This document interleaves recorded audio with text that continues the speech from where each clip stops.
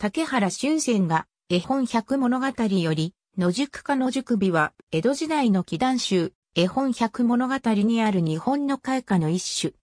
絵本百物語本文の記述によれば、田舎道、街道、山中などで誰かが火を焚いたかのように現れる細い火であり、特に人が集まって去った後や遊山に行った人が去った後に現れ、消えたかと思うと燃え上がり、燃えたかと思えば消え、これを繰り返すとある。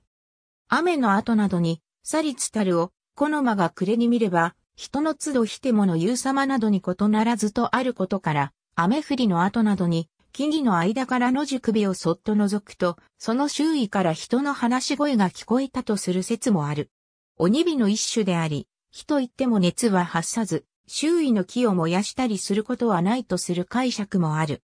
漢方時代の雑書、諸国里人団には、森林と題して、以下のような話が述べられており、絵本百物語の野宿家は、この森林を描いたものと考えられている。享保時代初期。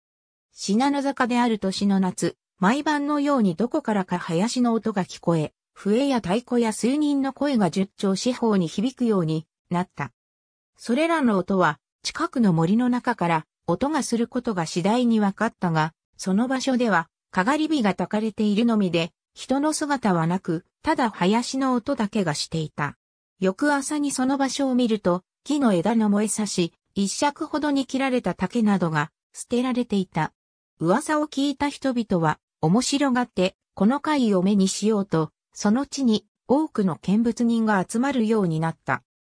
やがて、秋、冬と季節が流れるにつれて、林の音は弱まっていったが、翌年の春頃には、謎の林の原因が一向につかめないことから、人々は恐怖心を抱き、林の流れる夜になると、決して外出しないようになった。春が過ぎると、林の音は途絶え、ついに正体はわからないままだったという。ありがとうございます。